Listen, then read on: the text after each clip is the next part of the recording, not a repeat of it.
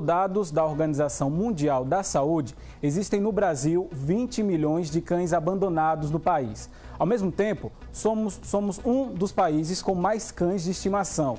Proporcionalmente, a população de 44% das casas brasileiras tem pelo menos um cachorro com pet. E se você quer um novo amigo, você pode adotá-lo. É que acontece hoje uma feira de adoções. Eu estive lá e se eu não tivesse dois animais em casa, eu levava mais um, viu? Acompanhe agora na reportagem. São 19 animais entre cães e gatos. Estão vendo aqui, ó. Um já está aqui no meu braço, também tem nos braços aqui, tanto do veterinário, tanto também como do pessoal que está organizando essa campanha, que é a campanha que é dos amigos voluntários PET. Eu vou falar aqui com a Alessandra. Alessandra, o que é que levaram vocês a fazer essa doação e vai ser o dia todo? Até que horário o pessoal pode vir aqui?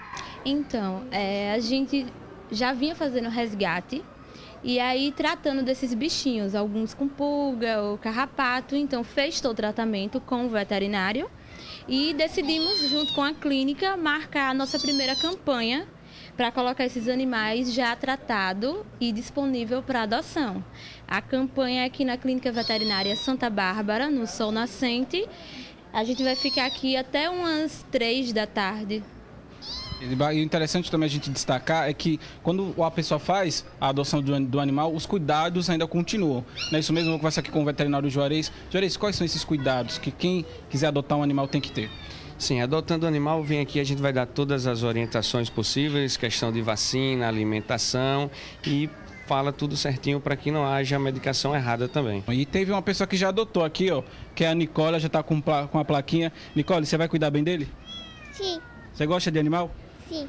Você gosta mesmo? Sim. Então vai cuidar dele, né?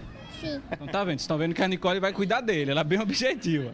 Do sol nascente para o balanço geral. Tá vendo aí, ó? Vamos fazer igual a Nicole, vamos adotar um animalzinho.